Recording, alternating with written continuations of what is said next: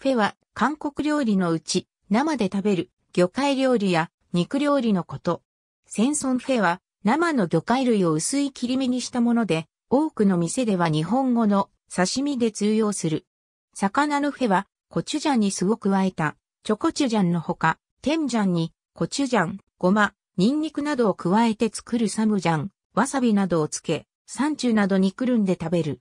また見た目を良くするため、調理しないタンミョンの上に乗せることもある。また食堂などで魚のフェを食べ終わると、残った魚のアラに野菜を加えて、メウンタンを作って食べる。白身魚のフェ以外にも様々な種類の魚介類のフェが食べられている。ファローフェは、イケスから出したイケウをそのままさばいて、フェにしたものを言う。スックフェは魚やイカなどにさっと火を通したものである。ソノフェは、マスなどの皮魚の刺身を刺す。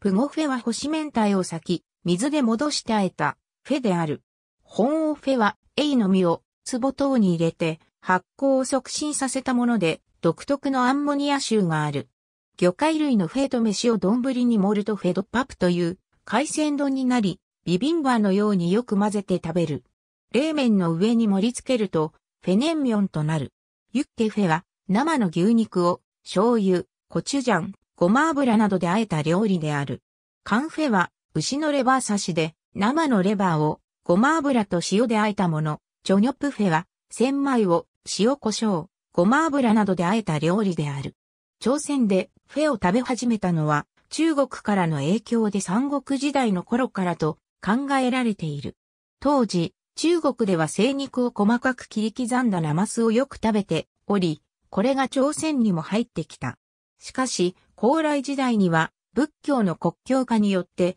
獣の肉を食べる風習は廃れていった。牧畜を行うモンゴル帝国の侵入、及び高麗王朝と仏教の衰退によりフェの消費は復活した。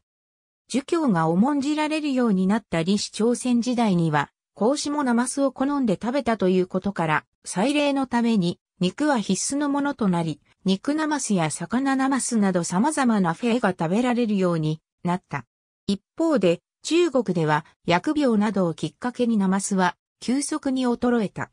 北宋の詩人、梅高志の詩には、友を招くのにナマスを用意する様が描かれているが、この頃を最後に中国におけるナマスの消費は見られなくなった。現代の韓国では、フェとは主に魚介類の刺身を指すが、牛肉のフェも多くの専門店のある人気のメニューである。ありがとうございます。